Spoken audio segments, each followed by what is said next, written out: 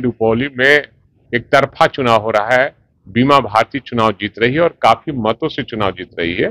चाचा को कभी अंदर कभी भतीजा को बाहर कभी भतीजा को अंदर कभी चाचा को बाहर। ये नीति रही है बीजेपी इससे हर आदमी को बचना चाहिए। बिहार सरकार ने आवंटन किया है तो नीतीश कुमार का अरे एनडीए की बात कर रहे हैं एनडीए में बीजेपी है ना? तो बीजेपी का चाल है। ये क्योंकि जब से नीतीश बाबू आए हैं राज्य में तो जितने ब्यूरोक्रेट हैं उन्हीं का राज है।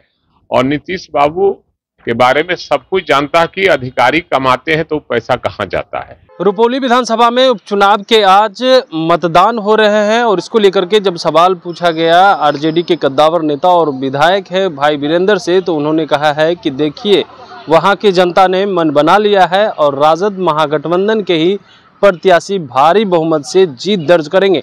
वहीं चिराग पासवान अपने चचा से चून चून करके बदला ले रहे हैं। इसको लेकर के क्या कुछ कह रहे हैं? भाई वीरेंद्र, सबसे पहले आप वो सुने। अरे, आपको जानकारी है कि रुपौली में एक तरफा चुनाव हो रहा है। बीमा भारती चुनाव जीत रही है और काफ़ी मतों से चुनाव जीत रही है।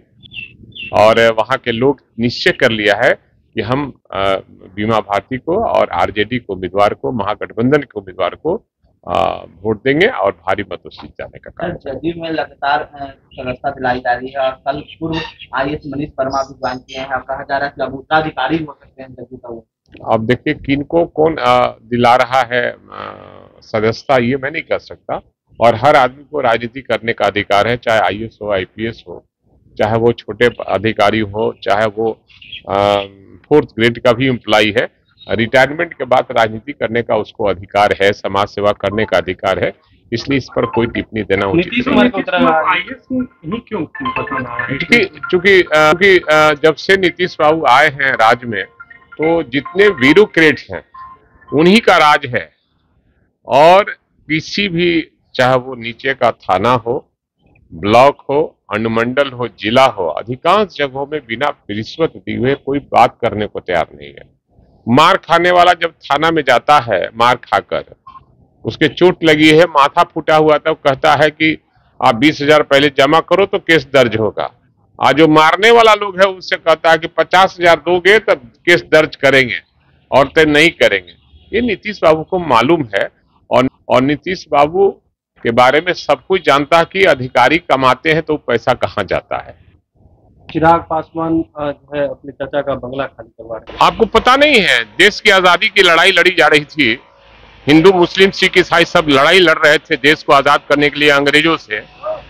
तो यही जनसंघ वाले ना, अंग्रेज़ों की मुखबिरी किया करते थे।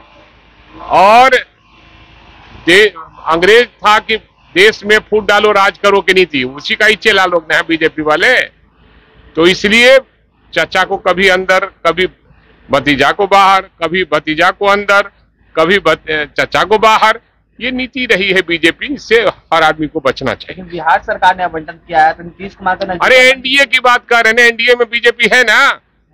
तो बीजेपी का चाल है ये। तो आपने सुना उनका कहना है कि देखिए ये बीजेपी की चाल है कभी चचा को अंदर कभी भतीजा को बाहर कभी भतीजा को अंदर कभी चचा को अंदर करते हैं तो ये सारी चाल बीजेपी की है, ना कि सीएम नीतीश कुमार। एनडीए जो है, एनडीए में सीएम नीतीश कुमार भी हैं तो खेल वही कर रहे हैं। वहीं मनीष वर्मा जदयू के, नीतीश कुमार के उत्तराधिकारी होंगे, इसको लेकर के भी खूब बरसते हुए नज़र आ रहे हैं और कह रहे हैं कि देखिए, बिहार में तो सिर्फ़ अधिकारियों का ही चलता है और यही अधिकारी अब जदयू में शामिल हो रहे हैं। कमलेश कुमार, लाइव बिहार, पटना।